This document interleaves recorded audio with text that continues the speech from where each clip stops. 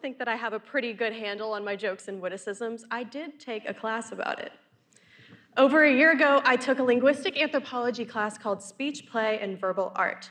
It was essentially a course about jokes and how people implement them in various cultures and languages. So at the end of the term, so it goes, I was tasked with writing a term paper, pretty lengthy one. And I had to figure out something that was new, that we hadn't covered in class before, and that I was passionate about to write a 20 page report. So, at, at a loss, in search of inspiration, I texted my younger brother, because 16 year olds know what's funny, right? So I texted him and I asked, What do you and your friends find funny? Internet memes. So if you're laughing, which thank you, you might already know what an internet meme is and even have personal experience creating or enjoying them. But what you might not know is that there's a distinct difference between cultural memes and the internet memes that many of us are familiar with. To explore this, let's journey back in time to before the World Wide Web was even in common use. The Encyclopedia Britannica defines a meme as a unit of cultural information spread by imitation. And in 1976, Evolutionary biologist Richard Dawkins coined this term meme in a novel about evolutionary genetics. What do memes have to do with evolutionary genetics? Well, meme is a word. Oh, that's Richard Dawkins, by the way. meme is a word which models itself after the word gene and is a shortened version of mimeme, the ancient Greek term for imitated thing. Dawkins argued that memes, or cultural ideas, spread throughout generations in the same way that genes do. For instance, a biological trait like brown hair passes from parent to child, so does cultural information. Like my dad taught me how to ride a bike, his dad taught him how to ride a bike, and I will likely someday teach my own children. So a meme is a cultural idea, and this can be almost anything. And Dawkins argued that cultural ideas replicate in the same way that genes do in an imitating fashion. Monkey see, monkey do. And humans have a desire to belong, and what better way to belong than by doing what everyone else is doing, right? Though my mother always told me if everyone was jumping off a bridge, then would you do it too? And the obvious prompted answer is no. But for most things, yes, we jump off that metaphorical bridge. We imitate because we want to belong. If we journey even further back in time, we would see that other cultural ideas, like the controlled use of fire and the development of language, are memes, spread throughout cultures and repurposed for their unique specific use. And it's this development and evolution of language that gives us phrases on the internet like, we stan a queen. Now, when I first saw this phrase, I actually had to text one of my friends and ask them what it meant because, I mean, I knew it was English, but was it? This is an emphatic way to express your support for someone. It's positive stuff, but let's look at another. Let's get this bread. Now, the reality of you or I understanding this phrase, if you're not keeping up with these evolving conversational phrases on the internet, is probably slim to none. Now, this one's a bit easier to decipher. There's no varied spelling, slang, shortened words. And if you spend time with it in context long enough, you'd figure out that it's motivational and refers to the procurement of money. But that's the kicker. You have to spend time with internet memes in order to understand them. So now we've arrived to the present. If you say the word meme today, you're likely referring to the rapidly evolving and wildly popular internet memes. And just like that, the word meme became a meme, something repurposed and appropriated through time. It doesn't get more metalinguistic than this, I promise. So in 2013, Richard Dawkins revisited his original term meme to clarify that an internet meme is different than the meme that he once described. An internet meme is a meme or a cultural idea that's been deliberately altered by human creativity. So, via the internet and cyber culture, these things become digital artistic expressions. So, let's take a look at what it takes and how people make these artistic masterpieces. Memes are essentially comics, but without a formal outlet like a newspaper. The first and most popular form of internet meme was image macros.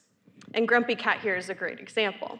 It's a caption superimposed on an image. Rather than putting your witty comment below a photo, you're putting it right on top. So though they've evolved, internet memes today generally follow this same format. But arguably, creating a successful meme today versus, say, six years ago requires more time, a thorough knowledge of current events, and even familiarity with complex design and editing software. So for instance, all of these things come together and you really need to be paying attention to what's happening both on the internet and outside of the internet in order to understand these memes. For instance, traditional schooling requires that students study classic novels as they appear in other forms of entertainment and even conversation. It makes people cultured. Knowledge of popular internet memes functions in the same way, especially among younger generations. And if you're not keeping up, it's really easy to fall behind. And clearly, I've been there. And then they make memes about that too.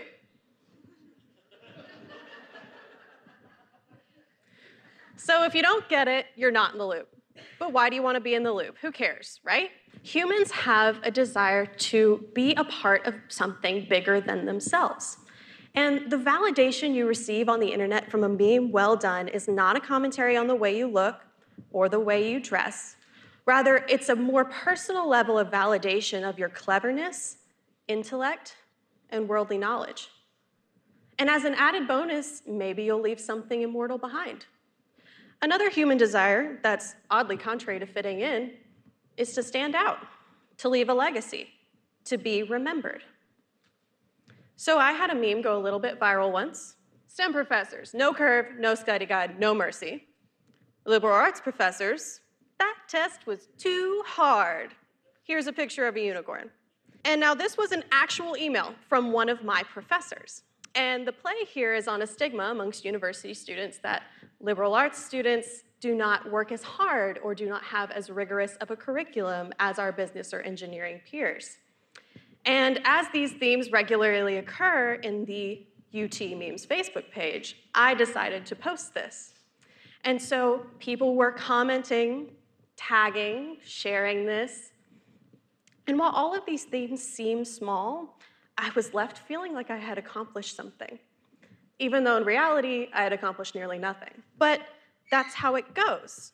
I mean, virality is pretty rare, unless you're Kylie Jenner, who is the world record, well, runner up, world record holder for the highest number of likes on Instagram behind a picture of an egg. But that's how it goes. Compared to the number of people on this planet and the number of things posted per day, a very small number of things reach beyond your immediate followers. And unless you're Kylie Jenner, that following is at most a few hundred friends that might see your post. So in 2013, researchers at Indiana University conducted a study to see how internet memes go viral. Now, I hate to burst your bubble, but apparently what they found is that it's a result of complete random chance. Once an internet meme is shared beyond the first person that posts it, that exponentially increases its likelihood to be shared again by introducing it to a whole new crowd of followers, and therefore exponentially increasing its likelihood to go viral. On the other hand, if an internet meme does not get shared, it dies out quickly and everyone forgets it ever happened. In this way, internet memes function like a virus, spreading like a contagion and dying out without a host. Hence the term virality. So, armed with this awareness, anyone on the internet has the potential to become famous. Anyone can create a meme and maybe go viral and be virtually free of social consequences, especially if the joke that they make is a little bit offensive. Now, on most platforms, there's no authorship attached, so why does it matter? Except on Facebook. Facebook has your name, your face, your friends, and usually your most sincere social brand.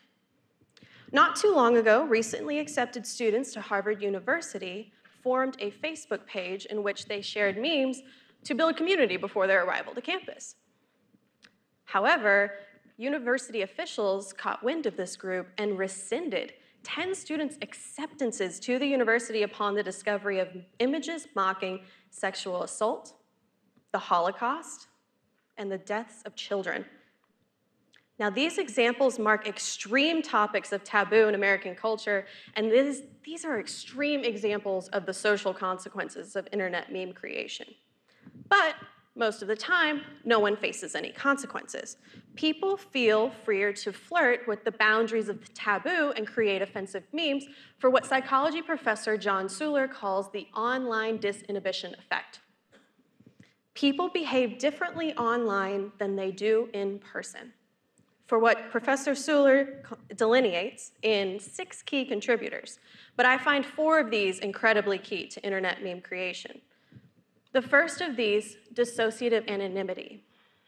The ability to hide your true identity online allows you to remove yourself from responsibilities of your actions. Additionally, there's invisibility, and that's a lack of physical contact with other users on the internet. Moreover, that lack of physical contact often leads to dissociative or dehumanizing behaviors of other online users, by not viewing people as actual people with real feelings, this often leads to the production of especially offensive internet memes via solipsistic introjection. And finally, the minimization of authority. The lack of an authoritative figure online feeds the production of especially offensive memes. And for now, there's no law against creating offensive memes. A law against creating any kind of meme would be encroaching on our freedom of speech. So all of these things come together, all of these behaviors forming the online disinhibition effect lead to controversial creations that call into question the boundary between free speech and socially disruptive behavior. But that's the point of jokes, right? To disrupt the audience's expectations. We often laugh because we're uncomfortable. Think of any successful comedian you've heard. Some of the bits that we react the most to are the ones that have us thinking in our head, did they just say that out loud? Or, for instance, tickling. That's one of the most uncomfortable situations you can ever be in, and don't let anyone tell you otherwise. But we laugh. Or babies. Let's take a look at babies. They have no concept of language yet, so what they're laughing at is often very natural or innate. So if you're making a baby laugh, then you're probably genuinely funny. Or you're making them uncomfortable. Think about what babies laugh at, right? Peekaboo. When you play peekaboo with a baby, they don't yet understand object permanence. They don't understand that when you cover your eyes, that you're still there. They think you've disappeared entirely. So when you suddenly reappear, they are shocked.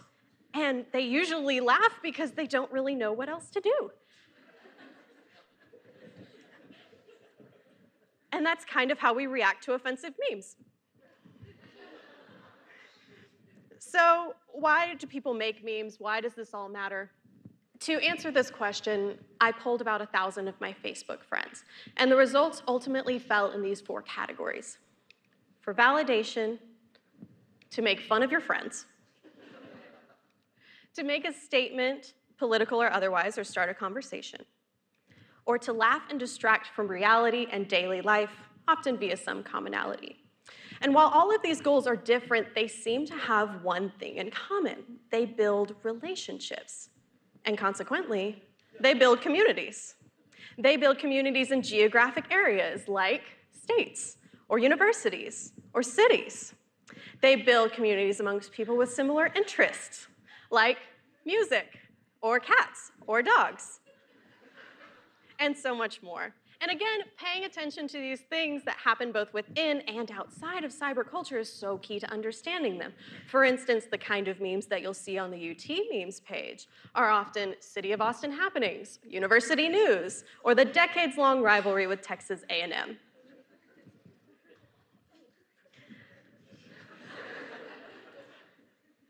So all of these things come together to form cyber culture. All of these communities, all of these individuals connecting to form cyberculture, one culture in which we all participate.